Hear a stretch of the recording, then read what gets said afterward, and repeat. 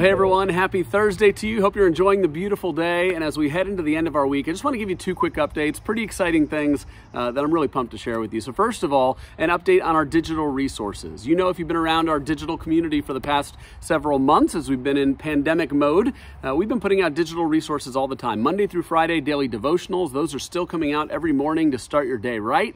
And then in the past, we've put out things like Mental Health Monday and Theology Thursday and Free for All Friday and Saturday Pray, and then, of course, our services on Sunday.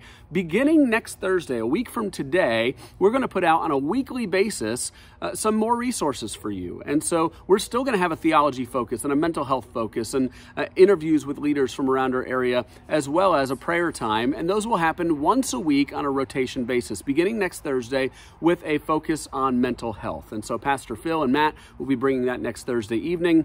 And then the week after that, uh, we'll have our theology focus with Pastor Doug and Pastor Alex. And then uh, we'll have interviews with Pastor Ryan and myself uh, the week after that, and then a prayer time the week after that. We'll prompt you on all of those resources as they come out, but check it out every Thursday evening. Also, just want to give you a little tease, and I'm not going to give you all the info yet.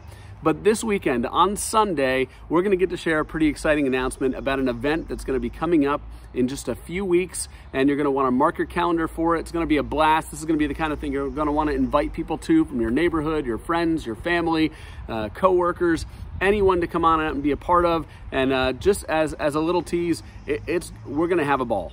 It's going to be awesome and uh, it's going to be an opportunity to actually see living, breathing people and worship together. And so check it out Sunday. That information is coming right out during our announcements on the Sunday service. Sunday services are at 9 a.m., 10:15, 11:45, and 6:30 p.m. Look forward to uh, to seeing you on the weekend and look forward to seeing you really soon in the near future. We'll talk to you soon. Have a great rest of your week.